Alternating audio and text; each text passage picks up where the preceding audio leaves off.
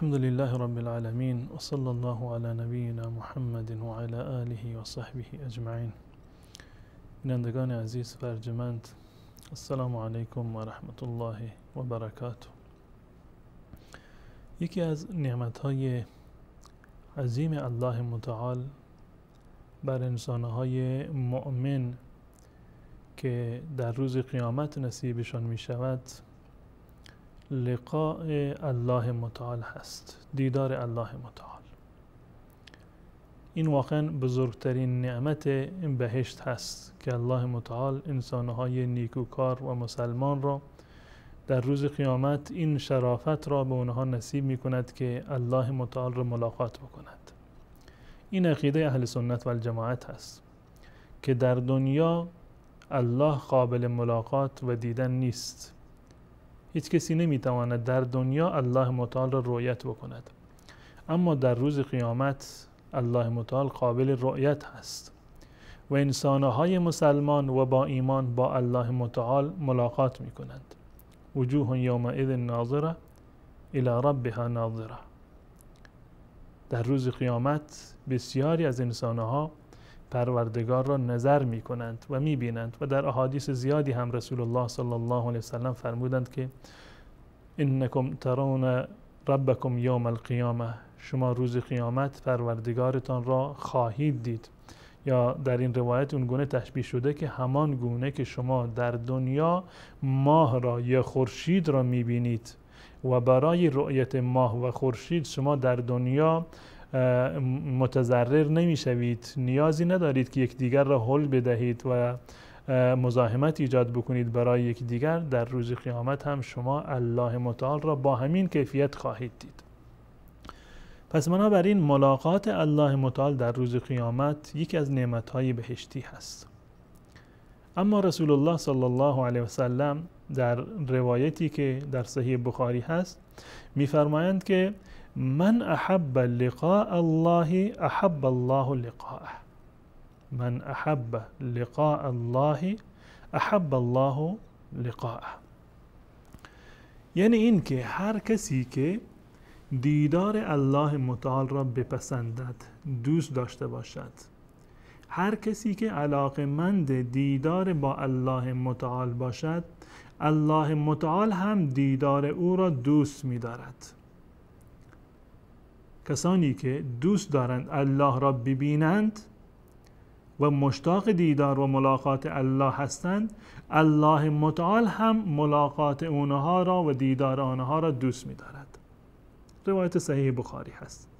من احب لقاء الله احب الله لقاءه. کسانی که دوست دار ملاقات با الله هستند الله متعال هم دوست دارد که آنها را در واقع ببیند.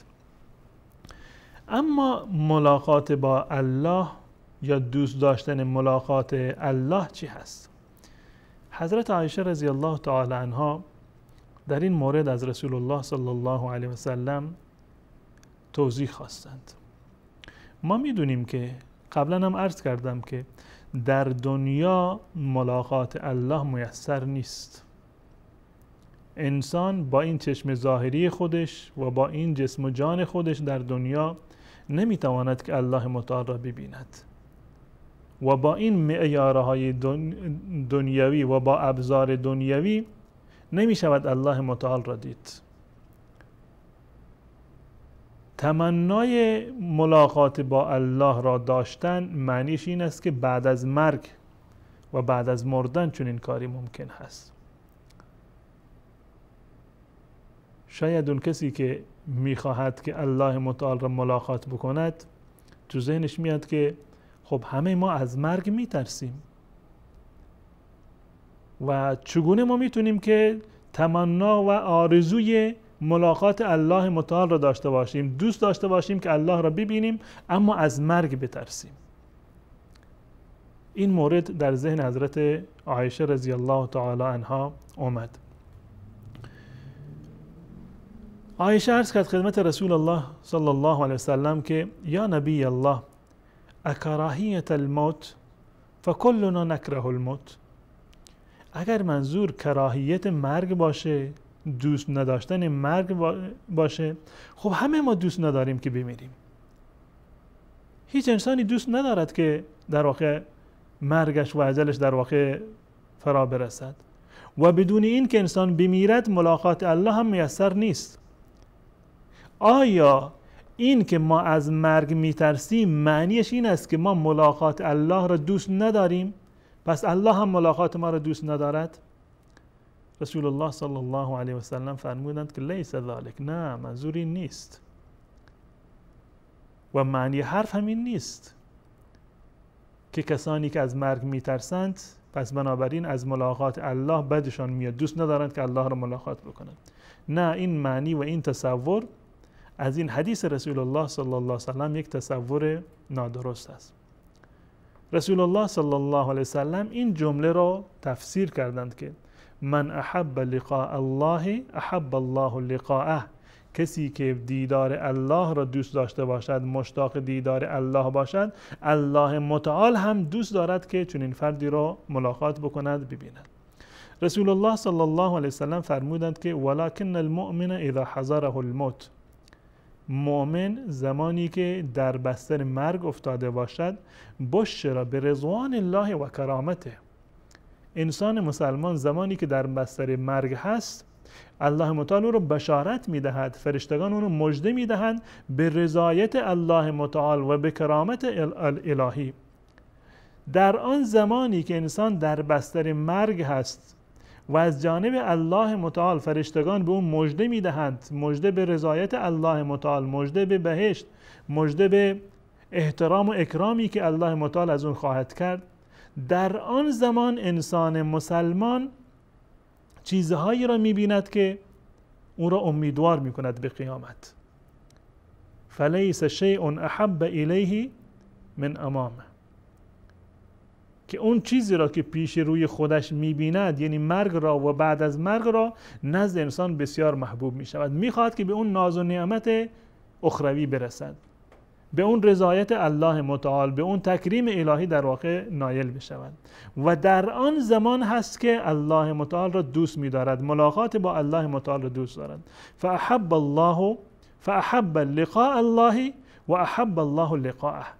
در آن لحظه هست که الله این انسان ملاقات الله متعال را میپسندد دوست میدارد و الله متعال هم ملاقات اون را میپسندد. پس بنابراین کسانی که در دنیا عمل صالح انجام دادند ایمان درستی رو داشتند در دنیا و عامل بر شریعت الهی بودند زمانی که در بستر مرگ میافتند الله متعال اونها را مژده می‌دهد. ایمان به صورت کلی باید بین امید بین بیم و امید باشد. یعنی هم از الله متعال باید بترسیم و همین که امیدوار باشیم. بین بیم و امید باشه. میان خوف و رجا. یعنی ترس از الله متعال و ترس از عذاب الهی و همچنین امیدوار بودن به رحمت الله متعال. زمانی که انسان در آخر عمر هست و در فیری هست و در بستر مرگ افتاده اونجا باید امید را بر ناامیدی غلبه بدیم.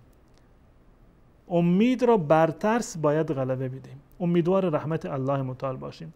و الله متعال انسانهای مؤمن را در آن زمان در واقع بشارت و مژده می‌دهد به رحمت خودش و به فضل و تکریمی که الله متعال آن را نصار جان انسانهای مؤمن خواهد کرد. در آن لحظه هست که انسان مسلمان دوست دارد که الله متعال را ببیند و ملاقات بکند. یعنی اگر در آن لحظه به یک انسان مسلمانی اختیار داده بشود که می‌خواهی بمیری یا می‌خواهی که دوباره به دنیا بازگردی در اون زمان انسان مسلمان ملاقات الله را دوست دارد و این را برای خودش در واقع انتخاب می‌کند. و همچنین این همین مطلب رو در روایت دیگری اومده از حضرت ابو هریره رضی الله تعالی عنه که همین مطلب را ذکر کردند که رسول الله صلی الله علیه و سلم اینو ذکر کردند و فرمودند در مورد این روایت که هر کسی که ملاقات الله را دوست بدارد الله متعال ملاقات او را دوست دارد و هر کسی که ملاقات الله را دوست ندارد الله متعال ملاقات او را هم دوست نخواهد داشت. اومدند پیش حضرت ابو هریره رضی الله تعالی انهو که ما هلاک شدیم. اگر واقعا این گونه باشد پس ما بیچاره هستیم. همه ما از مرگ در واقع میترسیم. حضرت ابو هریره رضی الله تعالی عنه در واقع گفتند که نه منظور نیست بلکه منظور زمانی هست که انسان روحش به حلقوم می‌رسد و آخرین نفسهایش رو در اینجا در دنیا در واقع می‌کشد در آن زمان وقتی که انسان مسلمان در سکرات موت قرار می‌گیرد سختی های مرگ سراغش میآیند الله متعال اون رو در واقع بشارت می‌دهد و مژده می‌دهد و ناز و نعمت های اخروی را می‌بیند. امیدوار به رحمت الله متعال می شود و در آن زمان انسان دوست دارد که الله متعال را در واقع ملاقات بکند و این حدیث مصداقش آن زمان هست. من احب لقاء الله احب الله لقاءه. هر کسی که الله ملاقات الله متعال را دوست داشته باشد الله متعال هم ملاقات او را دوست دارد. اما برای اینکه ما به این درجه برسیم عرض کردم که راهش این است که باید ایمان داشته باشیم به الله متعال. ایمان داشته باشیم به لقاء الله متعال و به روز قیامت و جریاناتی که در روز قیامت در واقع اتفاق می افتد و ایمان ما باید در بین بیم و امید باشد.